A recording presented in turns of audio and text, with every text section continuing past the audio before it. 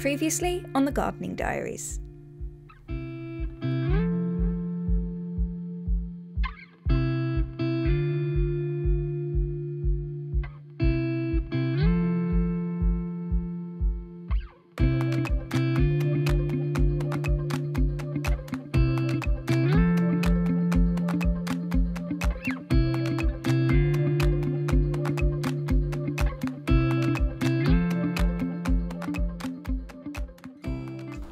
So in my last gardening diaries, you saw me redo all the beds and finally start planting. And in this video, I am going to show you where we are so far.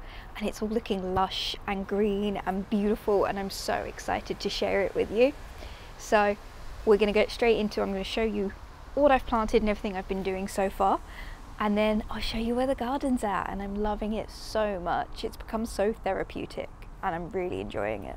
One thing I also started doing was keeping a uh, gardening journal. That's where I'm putting all the information, things that I'm learning as I'm going and how I'm feeling about things, things I want to do differently, kind of as a, a, log so that I can look back and see how far I've come over the time. But it's also got all my plans and my drawings in there of things, um, plans I have and the way it's going. And it's, it's probably been the most therapeutic tool out of everything I've done that I've used is just keeping a journal with all my gardening.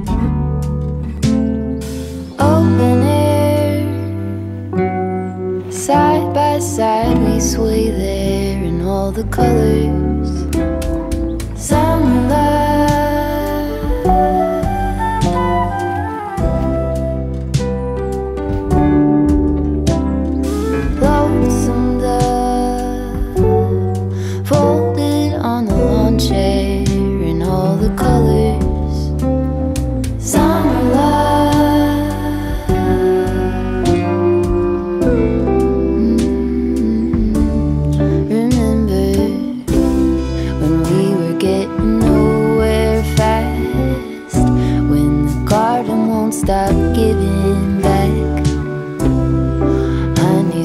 Fresh cut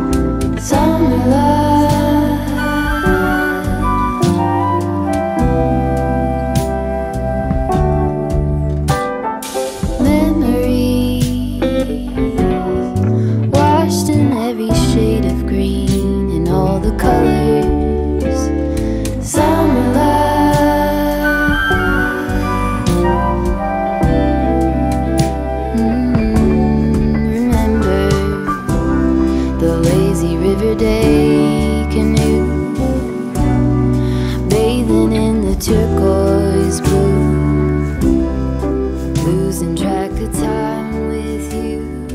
Another peach pie sunset. Here's how we're going. This is the raspberry plant. She's getting her first little spikes. Look at her. Got our first peppers over here. And what I'm really excited about. Look at these tiny blueberries. Look at them. Aren't they cute? This is mostly wildflowers. We got some weeds in there too, but it's lovely and lush and green. And here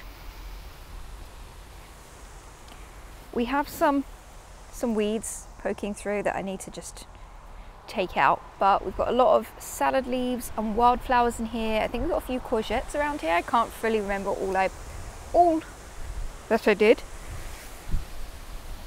We got our beetroot nice and strong beautiful looking. Again a load of like salad leaves dotted throughout that I'm really excited to start using. And I've also got a bunch of wildflowers in here but medicinal wildflowers.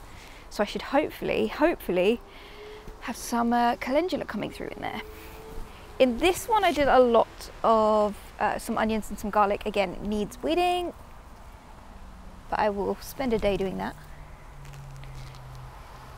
but they are growing through nice and strong and I don't know what this is. I should look into that.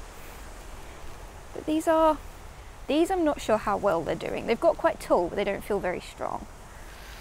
And now this, this is the bed that I'm most proud of. So these are the potato plants. Look how huge they are. And you can see where the ground has completely like risen up because of all the potatoes are under there and I'm so excited when I get to harvest these. And the kale, which I'm going to start using. Look how beautiful it is. These are the purple potatoes and I don't think they're going to make it. They did try, they tried valiantly, but we will see about those.